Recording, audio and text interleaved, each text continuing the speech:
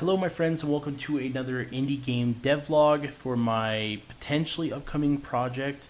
Um, I have this idea for this blend of like a rogue-like tower defense game um, with kind of the trick there being that there's only one tower and therefore the uh, running title that I have for the game is called Lone Tower.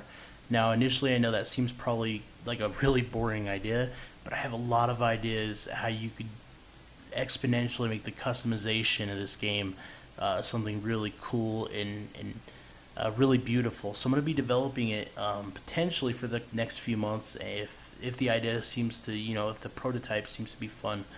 Um, let me go ahead and run the game and show you. I just started tonight and um, just literally less than an hour of work and there's not very much here yet but I guarantee you if you follow this devlog over the next few months we're going to turn this into a very beautiful and complex and mesmerizing game.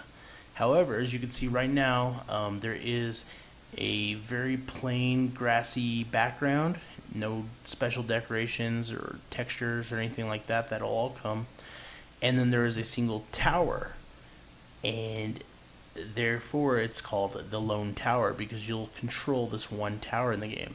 So there's not a whole lot going on yet, but there are these little skeleton enemies, and let's see what happens when I place these guys. Right now I can just click on the screen and just to kind of place them in here. Not a whole lot going on, right? Uh, they run towards the tower. If I place them over here, you'll notice that they face the opposite way, and that's about it. Uh, they run at the tower, and then they just kind of disappear behind it. They don't attack it. There's no attacking or anything like that. That will be coming in the future devlogs. I think I'm going to call it a night here with just this, um, but I'll, I'll start explaining how the complexity of the idea and how the addiction factor um, will be coming in place because I have a ton of ideas in my head for what this game potentially could be.